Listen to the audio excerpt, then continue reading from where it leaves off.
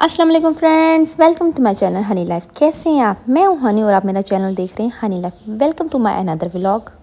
अभी मेरी ईद की सीरीज़ स्टिल जारी है तो आज क्या पक रहा है हनी के किचन में? हाँ जी, ये पक गया है मटन कौरमा और ये निकल गई है चिकन की यखनी। और हनी आज इतना कुछ क्यों पका रही है? क्योंकि आज हनी के घर पे है ग्रैंड दावत। हाँ जी मैं बना रही हूँ अपने नंद की दावत जो कि ईद की दावत है। हाँ जी चिकन पुलाव का मसाला रेडी हो गया है और इसको लेटर ऑन एंड टाइम पे दम दे देंगे और साथ ही था मटन कौरमा और ये चावल क्यों भिगोए हुए हैं क्योंकि इससे बनेगा जरदा। हाँ जी जो है मटन की टिक्कियाँ ये भी ऑलमोस्ट डन है तो बस इसकी लास्ट भुनाई रहेगी वो भी एंड टाइम पे हम गर्म करते हुए कर देंगे। मैं इस टाइम आपको किचन में ले आई हूँ और साथ साथ ये चिकन हांडी बनाई थी वो भी दिखा रही हूँ क्योंकि जब एंड टाइम पे जब टेबल लगाना होता है ना तो मुझे कुछ समझ नहीं आ रही होती। मैं उस टाइम डिश आउट कर रही होती हूँ सब टेबल लगा रही होती हूँ, उस टाइम मेरे लिए व्लॉग बनाना ना एक बहुत बड़ा इम्तिहान होता है। चलें जी, अब डिस्प्ले लग गया कि हनी ने आज ईद की दावत पे पहनना क्या है। हाँ जी, अगर किसी ने मेरे लेटेस्ट व्लॉग्स देखे होंगे तो उसको बखूबी पता चला होगा कि मैंने ये ऑनलाइन मंगवाया था सूट सोपिया नज़ीर का। और साथ मैंने अपने ब्लॉग्स में आपसे कहा भी था कि मुझे प्लीज़ कमेंट बॉक्स में बताएँ कि इन सब ड्रेसेस में से मेरा ईद का ड्रेस कौन सा है। बहुत ही decent light weight chicken curry पे है और साथ मैंने ये पहन रही हूँ उसके साथ जो शूज़ है वो है नौरीन अंसर का और साथ शिफोन का दुपट्टा है और साथ जो मैंने इसके इयर लिए हैं वो मैंने मैचिंग ने लिए हैं ये चांदी के हैं और ये बहुत खूबसूरत वाइट कलर में स्काई ब्लू कलर पहना है but it is more lighter than sky blue तो ये मैंने फ़र्स्ट टाइम ये कलर पहन रही हूँ। अगर आपको भी मेरा ये ड्रेस पसंद आया हो तो प्लीज़ मुझे आप कमेंट बॉक्स में ज़रूर बताएँ। और उससे पहले प्लीज़ अगर आपने मेरा चैनल सब्सक्राइब नहीं किया और मेरे चैनल पे न्यू है तो प्लीज़ सब्सक्राइब करें। मेरी, मुझे ना आपकी तरफ़ से ये ईदी मिल जाएगी अगर आप सब्सक्राइब कर देंगे रियली और बेल आइकन पर ज़रूर प्रेस करें ताकि मेरे लेटेस्ट ईद के व्लॉग्स आप तक पहुँच सकें और प्लीज़ लाइक और कमेंट किया करें।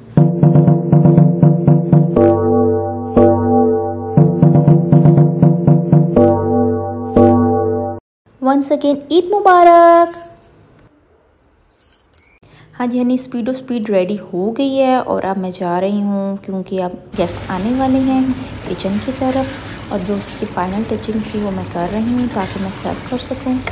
जो दावत है, ये दोपहर की दावत है और क्योंकि रात को जो दावत है वो मेरी अम्मी की तरफ़ दावत है तो जो मेरी ससुराली दावत है वो मैं डे में ख़त्म कर रही हूँ।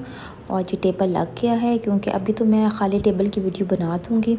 उसके बाद वीडियो बनाना मेरे लिए बहुत बड़ा इम्तिहान है। हाँ जी, सुबह मैंने आपको मसाला दिखा दिया था जो पुलाव का था और अब दम आ गया है। आप देख सकते हैं but time to now serve हाँ जी मुतंजन भी रेडी हो गया है। पहले हमारे जरते का प्रोग्राम था फिर हमें फ़ूड कलर्स मिल के तो हमने कहा मुतंजन ही बना लिया जाए। कैसा आइडिया था?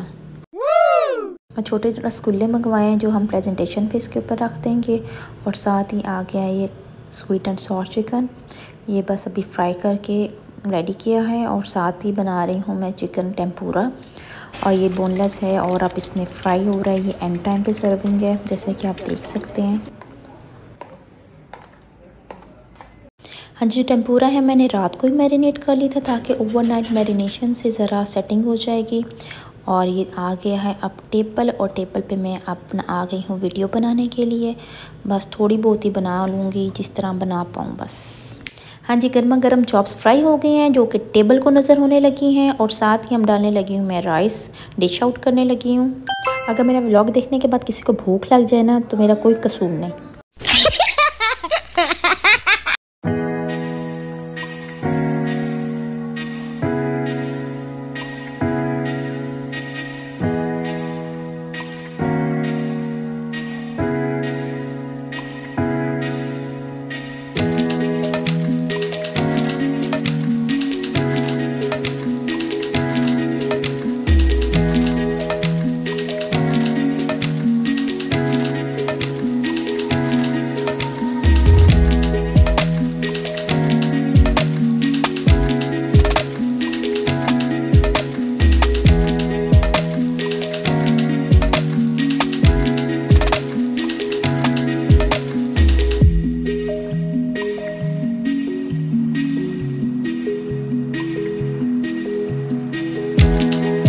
हाँ जी, स्वीट डिश में दो ही आइटम्स रखे थे। एक हो गया था मतंजन और दूसरी है ये आइसक्रीम।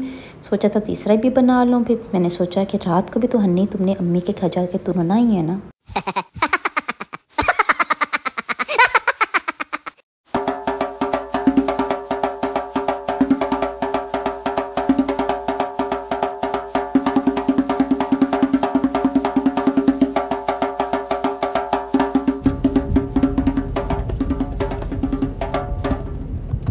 हाँ जी ससुराली दावत फिनिश और मेके की दावत स्टार्ट हाँ जी आपको जो सकाफत का केक नज़र आया वो अपनी अम्मी की तरफ़ लेके जा रही हूँ ताकि सब ईद पर मुँह मीठा कर ले मेरी तरफ़ से। यस रेडी तो मैं सुबह ही हो गई थी लेकिन जो फाइनल टचिंग थी वो मैंने अब कर ली है क्योंकि अब मैं बार बार तो तैयार नहीं हो सकती ना।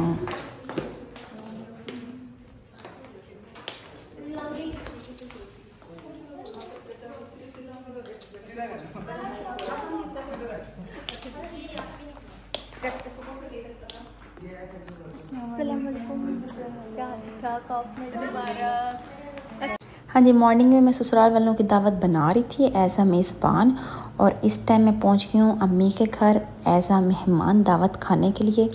हनी क्या एक ही दिन में क्या फेसिस हैं तेरे? मैंने घर आते साथ ही अम्मी को कहा कि, अम्मी जान मैंने कोई काम नहीं कराना, क्योंकि आपकी हनी आज बहुत थक गई है। और अम्मी ने मेरे से क्या काम करवाना है? अम्मी ने हर चीज़ पहले ही, हर चीज़ रेडी करके क्लीन करके रखी हुई है। तो अम्मी कह रही थी, बस बेटा, और कुछ ना करें, बस ये एहसान कर लें कि आराम से बैठ के खा लें। अल्लाह हर बेटी की माँ को सलामत रखे, क्योंकि जो माँ होती है ना, वही घर का शान होती है, और उस माँ की बदौलत ना, मेके के दरवाज़े खुले होते हैं बेटियों के लिए। और जो बेटियों को मेके में इज़्ज़तें और ये जो खाने, प्रोटोकॉल सब कुछ मिल रहा होता है ना शादी के बाद, सिर्फ़ माँ की बदौलत होता है। अल्लाह हमारी सबकी माओ को सलामत रखे, ज़िंदगी से रखे, सेहत से रखे, आमीन सुम आमीन।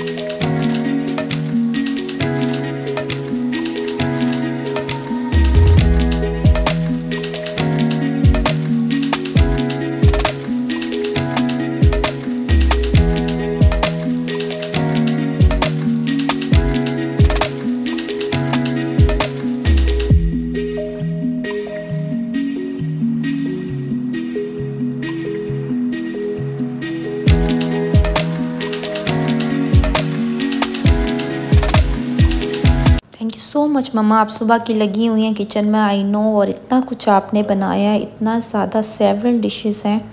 अल्लाह आपके माल में, ज़िंदगी में, सेहत में बरकत डाले, और आपका साय हमेशा हमारे सरों पे सलामत रखे। आमीन सुम आमीन। हाँ जी, मेन्यू देखते हैं। मेन्यू में है जी, चिकन का रशियन सैलड, और साथ है चिकन जेल फ्रीज़ी। और जी, साथ आ गया है स्टीम चिकन और इसमें क्या है? इसमें आ गया है हाँ जी, ये है चिकन बिरयानी।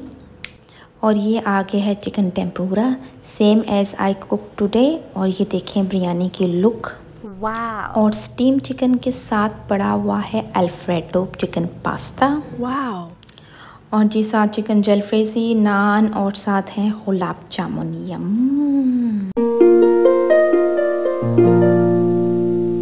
जी आ गए हैं साथ मटन नमकीन ये ज़रा चूल्हे पे था गरम गरम आया। और जी हनी ने स्टार्ट ले लिया। और साथ है ठंडी ठंडी दूध सेवियाँ गुलाब जामुन और आइसक्रीम जो है आई थिंक सो किचन में सर्व हो रही है। आई होप आपको मेरे ब्लॉग्स अच्छे लग रहे होंगे और आज की मेरी वीडियो भी पसंद आई होगी। तो प्लीज़ अगर आप मेरे चैनल पे न्यू हैं तो प्लीज़ सब्सक्राइब करें। तो इंशाल्लाह मैं आपको जल्द मिलूँगी नेक्स्ट ब्लॉग में। अल्लाह हाफिज़, फ़ी ईमान स्टे ट्यून्ड